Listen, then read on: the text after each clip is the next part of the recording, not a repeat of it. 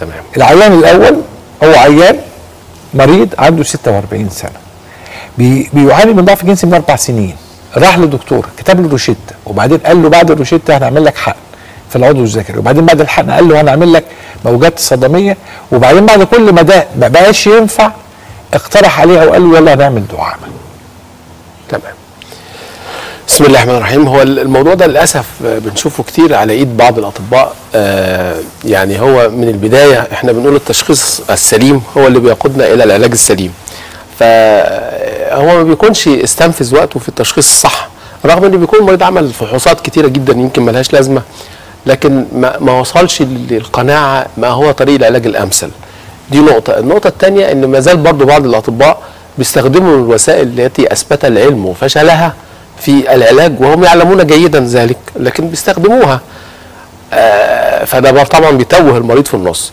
فيجي المريض يروح له مثلا هو ما شخصش التشخيص السليم ويديله أدوية يعني أنا بيتهيألي الأدوية ديك أنا مش عارف هو من أي منطق أو من أي طب قدر إن هو يدي لمريض واحد مثلا عدد من المنشطات الجنسية قد تتجاوز السبع أو ثمان أنواع.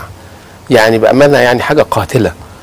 وبالرغم من ذلك بيديها للمريض ولمدة ويقول والله أنا هنجرب معاك. طب ما أنت عارف من الأول لو أنت يعني مشخص صح إنها هتجيب نتيجة أو مش هتجيب.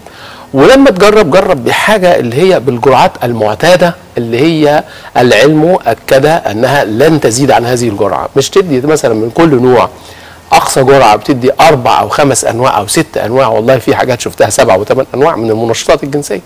طب ليه؟ وبعد ما المريض يمر بهذه المرحلة يقول له لا بقى إحنا إيه إحنا جربنا معاك يعني إحنا كده كويسين. طب نجرب بقى البلازما وإن شاء الله هتجيب معاك نتائج. ويقعد يستنزفه في البلازما مرة في الموجات الصدمية مرة وفي الآخر خالص يقول له إحنا إيه آه خلاص بقى ما فيش حل إلا الدعامة. طب انت من الأول ما التشخيص لو مظبوط انت هتعرف إنه من الأول محتاج دعامة ولا لأ؟ ولو انت محتاج دعامة وهتعمل تجربة علاجية تكون تجربة بحكمة بالجرعات الموصى بها فقط لا غير.